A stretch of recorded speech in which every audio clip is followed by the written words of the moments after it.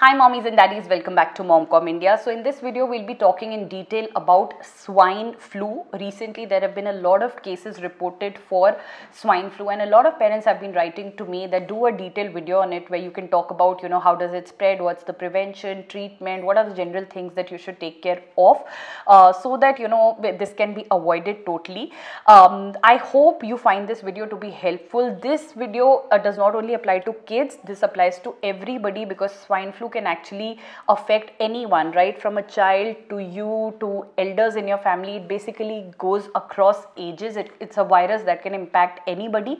So make sure you do share it with the entire community so that they are aware as to what is this and what needs to be done to avoid it or if you have it then uh, to recover from it. अगर आप एक Hindi viewer हैं तो इस topic का Hindi version हम अपने channel पे कल पोस्ट कर चुके हैं so let's start by understanding what is swine flu. Swine flu is basically a virus that enters in the body. It comes under the influenza category. It's also known as H1N1.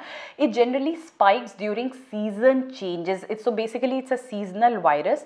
Initially it was found in pigs but then it got transferred from pigs to humans and now it, it is being spread from one human to the other. Um, the problem is that this flu is very much like the regular flu only. Uh, you know the symptoms symptoms, uh, the treatment is pretty much like the regular flu only. That's why there's a lot of confusion and delay in terms of detecting and then treating swine flu because initially when once you have swine flu you feel that it is the regular flu symptoms so you really don't have to go to the doctors. But then when you end up going to a doctor after a few days what is found is that you actually uh, have a swine flu. Now what happens with swine flu is that it's not a deadly virus. You know it is something that enters the body. If proper treatment is done it also goes out of the body and you will recover well from it.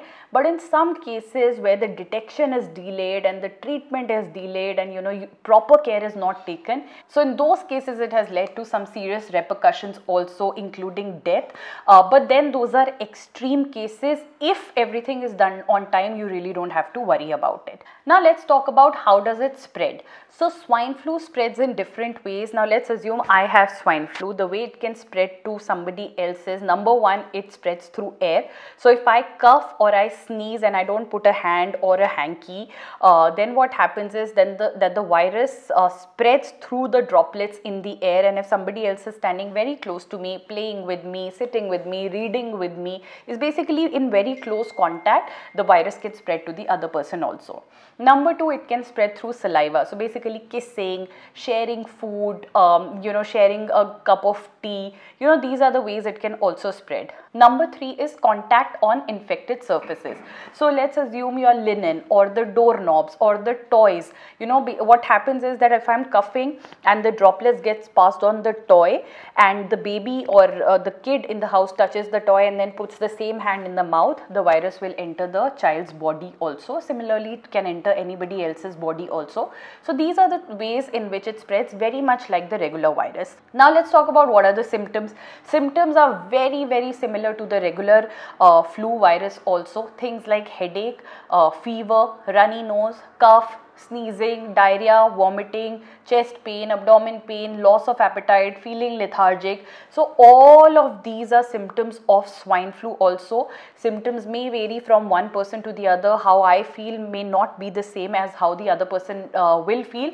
But initially you will just feel that this is just like regular flu that's happened to me and you know it will just go away. So you start taking your regular uh, you know medication that you do or you start trying your home remedies and that's how typically we approach it but the way it's actually detected is only through doctors. They are the ones you can trust with detecting it the right way. There are some tests which tell whether you are swine flu positive or not and in some cases they end up doing chest x-rays also. So i feel that you know if you particularly live in an area where uh, there are a large number of swine flu cases being reported uh, basically that's something that you will know through your news channels then you know if there is flu uh, symptoms also you should just be consulting the doctor to know that whether it is regular flu or swine flu. Prevention is better than cure, so it's better to know that it is not swine flu than you know go to the doctor late and then find out that it is swine flu and by that time your body is already weak uh, you know to recover from it very quickly.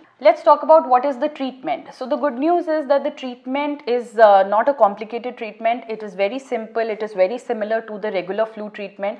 Number one is lots and lots of rest.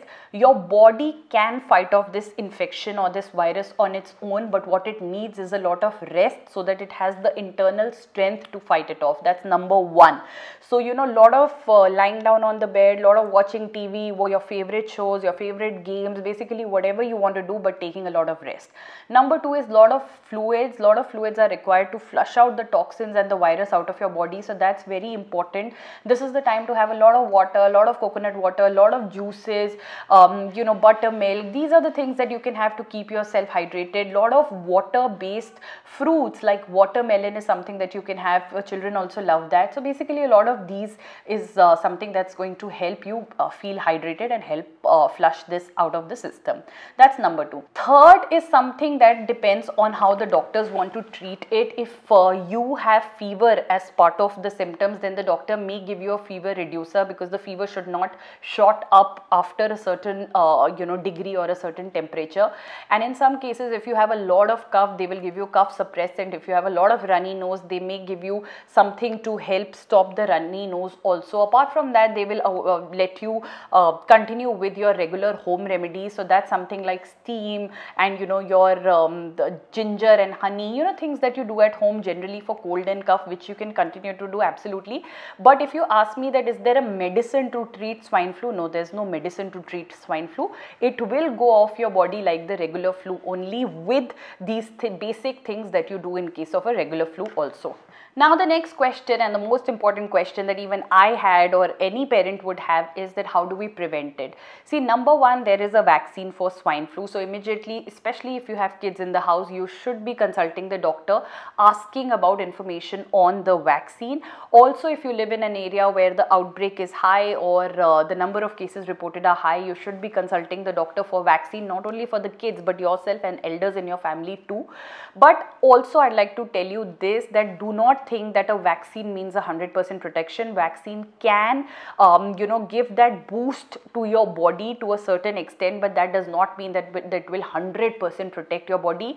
A lot of factors are uh, are there when it comes to vaccine and a virus protection. You know, it depends on when did the virus enter the body. At times, the virus enters the body, but it's not immediately active. It takes some a few days to get active or it depends when did you get the vaccine because the vaccine also takes few days to develop those antibodies in the body and you know make them really active so it's a whole cycle and you know it's very difficult to know when is it exactly happening so do not think that i've taken a vaccine means my me or my family is 100% protected it means that yes you have a cover but you need to take care of other things also. What are the other things? The, the most important thing for not only swine flu but any flu or any um, you know diseases is hygiene. Hygiene has to be maintained at utmost level especially if you have kids in the house. So things like washing hands which is just so important whenever you come from outside whenever you're done with your playtime you know whenever you do something which you feel that after which you need to clean your hands hand washing is a must. You uh, make sure that you use a nice antibacterial slow soap like we use dettol. Uh, so you can use that. That's number one. Apart from that maintaining hygiene in the house ensuring that the house is always clean the linen is changed every time the toys are clean, uh, you know, doorknobs and everything is clean, basically dusting in the house. All of these things ensure that, you know, hygiene is maintained properly. Also, if there is somebody in your family who is affected by swine flu make sure that there is isolation happening because what happens and that's the biggest problem that's happening is that since there's a lot of confusion with the regular flu you know we tend to go to offices we tend to go back to school we tend to go to college because we feel it's a regular flu. But that's what is leading to the outbreak in the community because this flu spreads just so easily. So i suggest that even if you have flu you should keep yourself isolated for a few days because this is how it is going to spread and this is how you can actually prevent it also. So make sure you follow that. Lastly there are certain foods that you should be having on a daily basis to generally boost your immunity your kids immunity elders uh, immunity. And i have a list of five that i feel is a must do on a daily basis. Number one is vegetable juices.